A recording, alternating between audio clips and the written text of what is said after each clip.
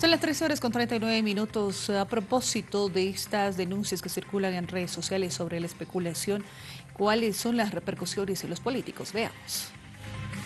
Nosotros hacemos un llamado a actuar con responsabilidad, a no caer en la especulación.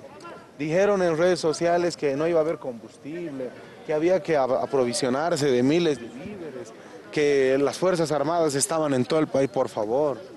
Seamos responsables con el único medio masivo de contacto con la gente. Publicaciones en diferentes redes sociales circularon durante el pasado lunes llamando a la población para que se abastezca de carburantes porque según algunos perfiles existiría desabastecimiento y se cerrarían las estaciones de servicio. Lo mismo ocurrió con otros productos. Desde el oficialismo y la oposición en la Asamblea Legislativa Plurinacional llaman a la población a no compartir información falsa.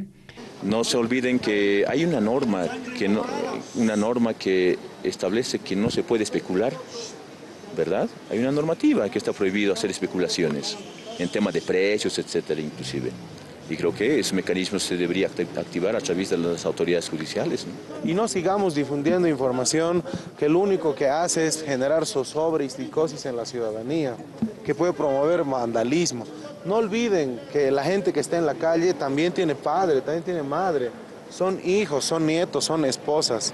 No probamos una acción tan irresponsable. Desde el oficialismo lamentan que se realicen esas irresponsables publicaciones porque solo promueven temor y desesperación en la población y se califica de falsas alarmas, además de chantajes a que no colaboran con el normal desarrollo de las actividades en las ciudades del país. Que la gente se informe, que la gente se informe.